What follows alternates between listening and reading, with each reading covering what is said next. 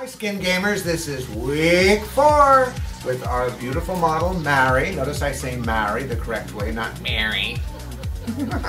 We're to do our Pro Alpha 6 layer. Now this used to be our top of the line removal so-called peel. I don't like the word peel, it suggests we're like an onion and voila, we rip one layer off of skin and it's brand new skin. It's not how skin really works, but it's a popular term, so we say Pro Alpha 6 layer peel.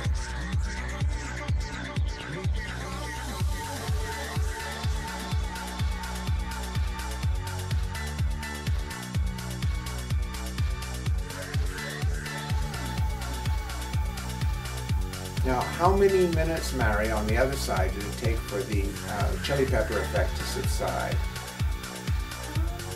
It's there still, but it's now I would say down to Two? Okay.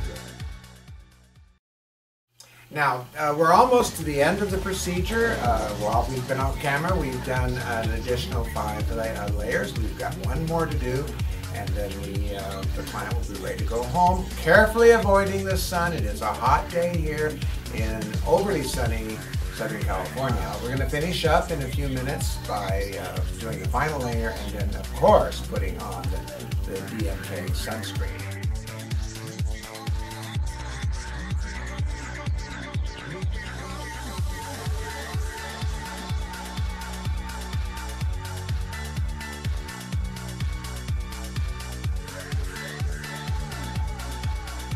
Okay, uh, Darcy is now applying the DMK Trans Epidermal sunscreen over the whole entire face, neck, and decollete.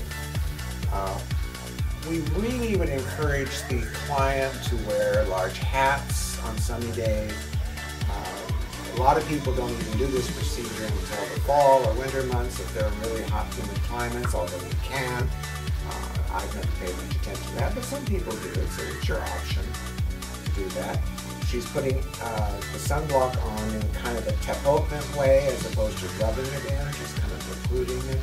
The client will look like they're starring in the Mikado as they leave. Hopefully not going to the luncheon uh, engagement. Thank you. See you next week.